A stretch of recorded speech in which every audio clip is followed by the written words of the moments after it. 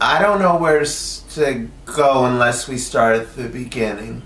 So I'm going to start at the beginning.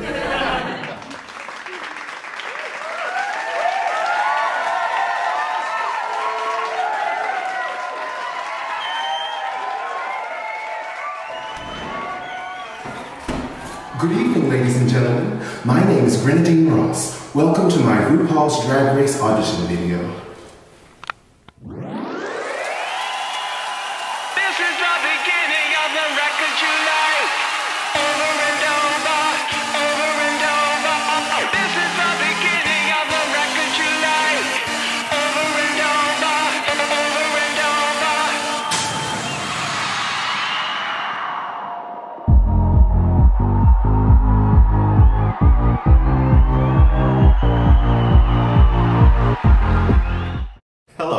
My name is Daren Fleming.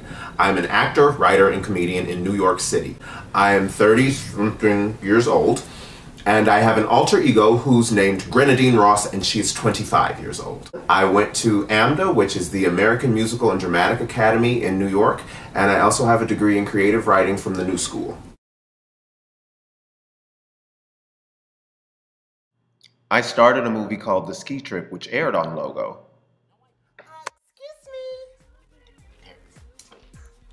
Hi, I'm Terry, and this is my friend Corey. Goodbye.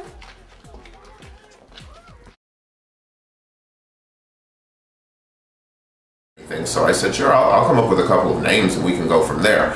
I gave him three suggestions, and the last one was Grenadine Ross. He said Grenadine Ross was the funniest, hands down, and I was actually happy about that because I always wanted to write a Waiting to Exhale parody, and I wanted my character to be Grenadine, which was the Bernadine character, and I'm kind of nutty like that, so I thought it would be funny.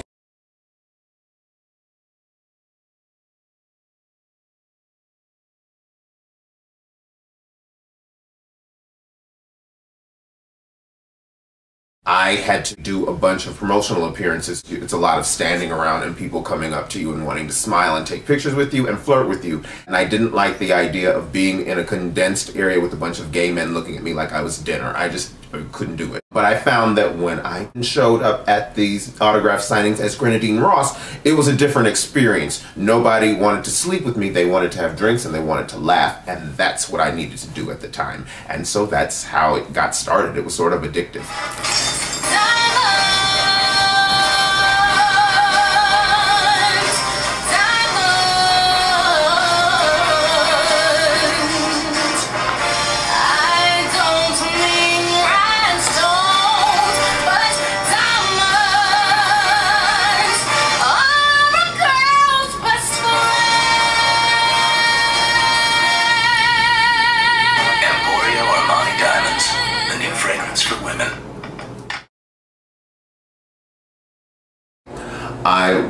14 and I played a character named Bertha Bew Miller in a play called Greater Two. Settle down. You'll get cheerleader next year.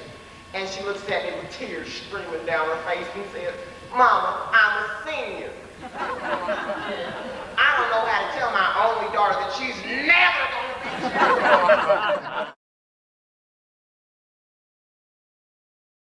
I saw someone performing Ain't No Mountain High Enough, and it was the most busted performance I had ever seen in my life. And I, he had on this cheap, cheap stripper dress. It's not even like the sticky sequins. It was just like the stripper fabric. It was just cheap. Like it to myself, my goodness, if he can make that much money, not even knowing the songs, imagine how much money I could make.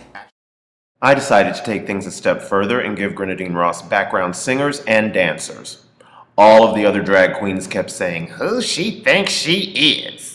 People eventually figured it out when I wrote and staged a workshop of my play called Merry Christmas, Love Grenadine Ross and the Cherries. Following that, I was contacted by the producers of the off Broadway game show The Ultimate Drag Off to compete as Grenadine Ross, and I said yes. It was good money in a theatrical setting, and the audience seemed to like me. They crowned me the winner of 60s, 70s, and 80s night consecutively.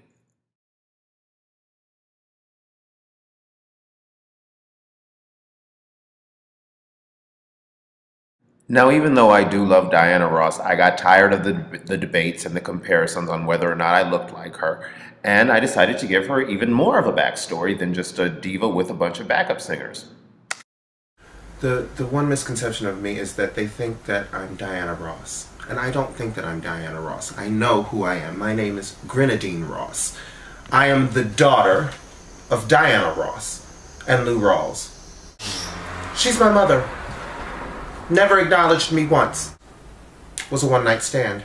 And she couldn't have that affect her career. So she sent me to live with a cousin in Willacoochee, Georgia. Willacoochee, not a great place to grow up, especially when you're Diana Ross's love child. Some things that she sent me though to let me know that she loved me. She sent me to the Willacoochee Black Magic Acting and Temp Academy. They teach you how to be an actor and a temp because they know you're just not going to get work as an actor. um, she sent me this. Out of drag. People think that I'm serious, and a lot of people are afraid to come up and talk to me because they said that I'm very stoic. And I, I smile, but I don't walk around like this all the time. I'm just like this. So people are afraid to talk to me. In sequins and a giant wig, people come running up to me like, oh my god, you're fabulous! Blah, blah, blah, blah. But I'm still the same person. I feel like fur makes everything better, don't you? It's so tasty too!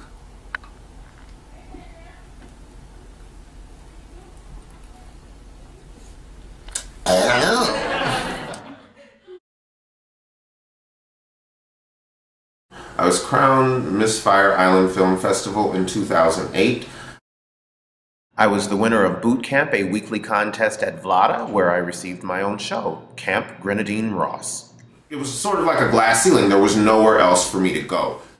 I just wasn't interested in jumping around in the dark, lip syncing for $75. And I decided that if this was all that drag had to offer in New York, it was time to put Miss Ross on hiatus indefinitely and focus on Daren.